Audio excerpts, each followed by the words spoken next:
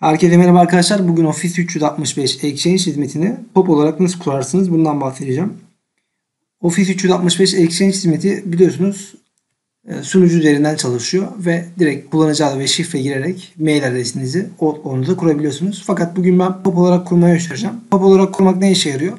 Eğer çok mail, mail alıyorsanız atıyorum günde 1000 tane yakın mail alıyorsanız Exchange'de bazı problemler olabiliyor. Al klasörleri ayırın diyor, arşiv yapın diyor. Bunları yaptığım halde çözü, problemi çözemediğim bilgisayarlar oldu. O yüzden mailleri bazı kullanıcılara pop olarak kuruyorum. Sunucu, sunucuda maillerim durmaya devam ederken aynı zamanda mailler bilgisayara inmesi demek pop olması. IMAP olması demek sunucuda senkron çalışması demek. IMAP'la Exchange aynı gibi düşünebilirsiniz aslında. Öncelikle ben bu mail hesabını posta kutusunda yeni bir bakın şöyle göstereyim profil oluşturarak kuruyorum. Onun için denetim masasına giriyoruz. Bu yaptığım işlemleri direkt siz Outlook açıp da yapabilirsiniz. Yani şuradan sonrasını şuradan sonrasını Outlook açıp da yapabilirsiniz.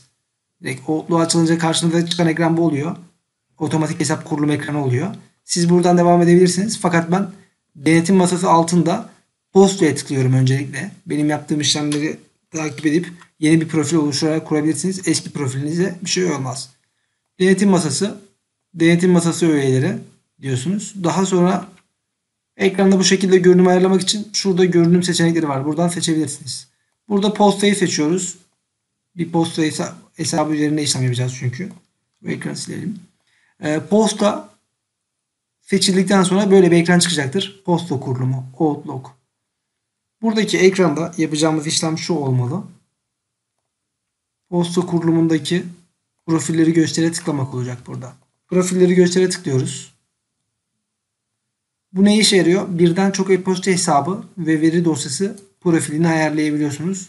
Genellikle bir profil yeterli oluyor. Fakat birden fazla profilde kullanabilirsiniz. Burada bakın var olan Outlook diye bir profilim var.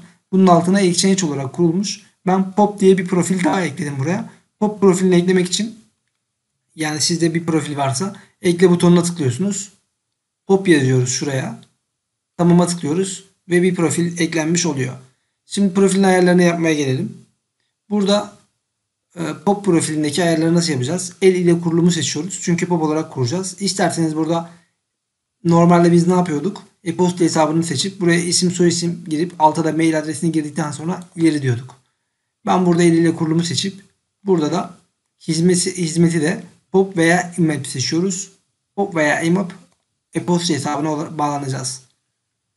Ee, Exchange Online yani Office 365'in mail hizmeti POP, POP kurulumu destekliyor. Bunu söyleyeyim. Yandex'te mesela kurulum yaşarken POP kuramamıştım ben Yandex mailde. Onu da söyleyeyim.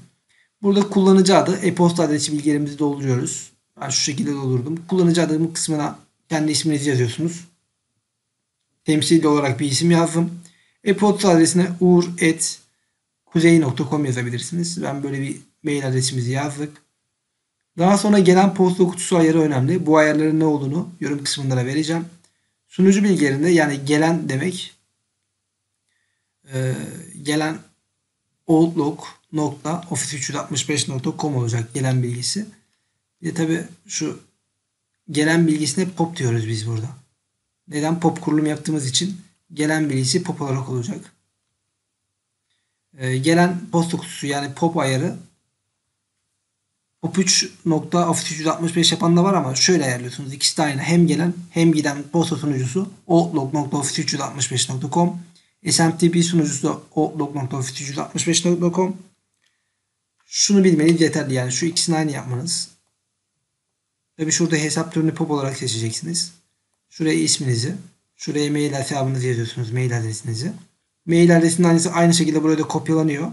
Mail adresinizi doğru yazdığınızdan emin olun. Şifreyi de doğru bir şekilde buraya yazdıktan sonra parolayı anımsa işaretlenir. Daha sonra diğer ayarlara geçilir. Ve şuradaki tik de işaretli olacak. Diğer ayarlarımıza bakalım neler varmış. Diğer ayarlara geldiğimiz zaman burada posta hesabı adresi yazacak. Mail adresimizin. Burada otomatik yazar zaten. Herhangi bir şey yazmaya gerek yok. Giden sunucusu ayarları kısmına geldiğimiz zaman giden sunucusu kısmında giden sunucum SMTP için kimlik doğrulaması gerekiyor. işaretli olması gerekiyor ve üsttekini işaretleyebilirsiniz. Gelen posta sunucum ile aynı ad ayarlarını kullan. Daha sonra gelişmiş seçenekler altında gelen pop sunucusunu 995 olarak ayarlıyorsunuz. Ve altta bir tik butucuk var. Burada şifreleme balansı için SSL gerekir kalsın. Eğer burada şu şekilde seçilir box varsa HLF'yi seçin.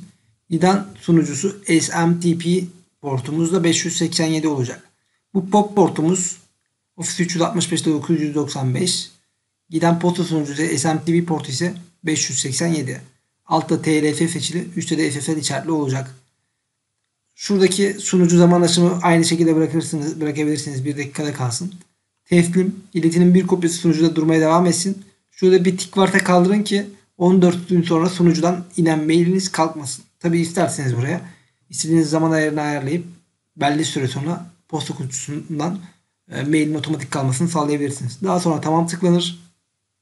Buradaki ayarlarımız da doğru bir şekilde yapıldıysa ileri tıklanır. Artık kurulum bitti. Mailiniz pop olarak kurulur. Şunu da göstereyim. Denetim masası altında yapacağınız ayarlar şöyle. Denetim masasına girdikten sonra denetim masası altında postayı bulacaksınız. Şuradan ölçüleri ayarlayabilirsiniz. Benim için böyle bulması daha kolay oluyor. Mail ben. Bakın bende mail diye görünüyormuş. Posta diye değil mail diye görünebilir. Maile tıkladık. Karşımıza gelen kısımda profilleri göster. Burada bakın bir sürü ben test olarak profil oluşturdum. Her zaman bu profili kullandığından pop olarak oluşturduğunuz profili seçip tamama tıklayın. Ben de şu an Outlook seçili. Yani yeni oluşturduğunuz profili seçin ki Outlook açtığınızda direkt o profille açılsın.